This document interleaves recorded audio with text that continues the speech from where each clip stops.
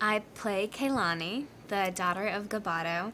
Uh, she's a fun character because she's kind of tough. She kind of takes care of her father and the family business and gets sucked into this crazy adventure and ends up finding young love.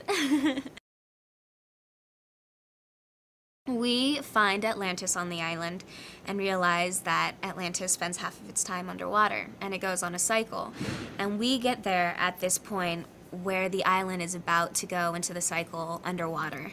Uh, so we have to try to get off or else we're gonna drown in the middle of nowhere. Sean is played by Josh Hutcherson, who I adore. We have so much fun. He's so talented. Um, he's just a really, really good guy. He just brings a lot to the table. Hank is played by Dwayne The Rock Johnson.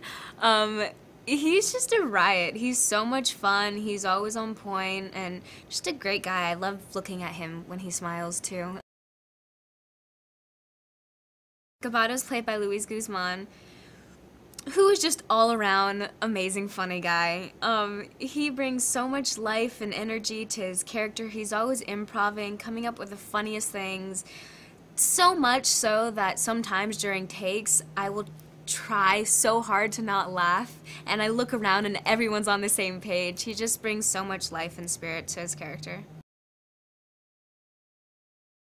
We shot the first two months of this movie in Hawaii, on Oahu. Probably my favorite place I've ever worked. How can it not be? If I had a day off, I would lay by the beach and go paddleboarding. Um, but it just created the most amazing landscapes. I mean, you didn't have to do much to these places. They were so magnificent, and it was just nature at its best.